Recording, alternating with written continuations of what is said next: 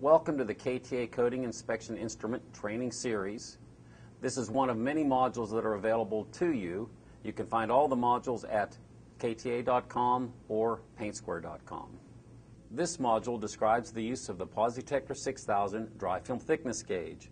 The dry film thickness gauge complies with ASTM D7091 and SSPC PA2. The purpose of the dry film thickness gauge is to measure the thickness of the coating to verify that you comply with the specification requirements and the manufacturer's instructions.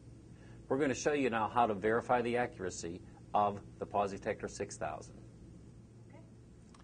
All right, first turn on the gauge by pressing the center button. The gauge is factory calibrated, but before you use it, during use, and even after use, you should verify the accuracy.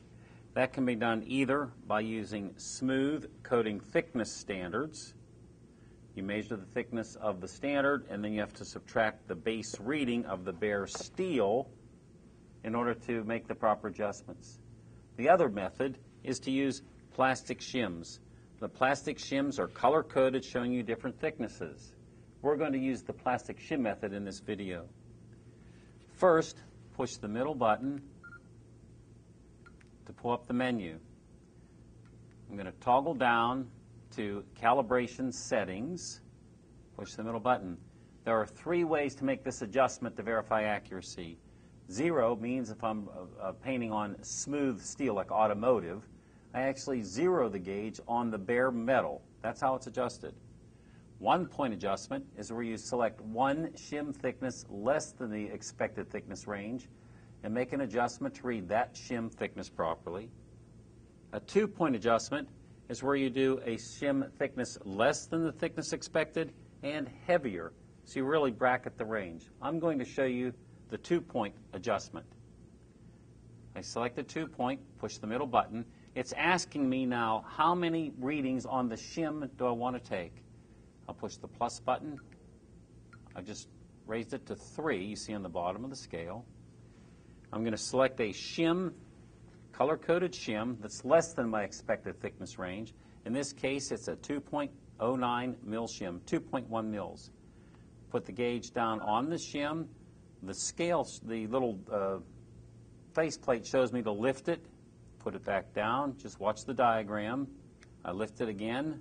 I'll put it down to do my third reading. It's saying that the thickness of the shim is 2.8 mils over the bare rough substrate. We know the shim thickness is really 2.1 mils, so I have to make an adjustment. I do that by hitting the minus button until I get the shim thickness, which in this case is 2.1 mils.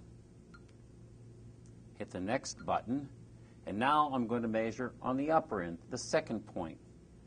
It asks me how many readings I'm going to take. I'm hitting the plus button. Again, to go to 3. There's no standard, but 3 is a, a pretty common number to use. I put a heavier shim down. This one is 9.4 mils. Put the instruments on, lift it. Down for my second reading, lift it. And the third reading.